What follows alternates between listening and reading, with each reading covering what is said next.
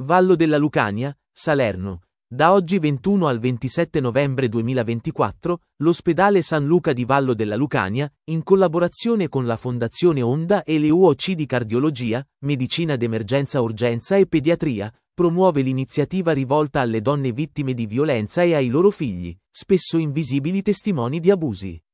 Una settimana dedicata alle donne vittime di violenza e ai loro figli. Le visite si terranno presso l'ospedale San Luca ogni mattina, dalle 09 alle 13, e saranno completamente gratuite. L'obiettivo è duplice. Fornire un supporto concreto a livello medico e psicologico e contribuire al recupero della dignità, dell'identità di genere e del concetto di salute delle donne e dei bambini coinvolti.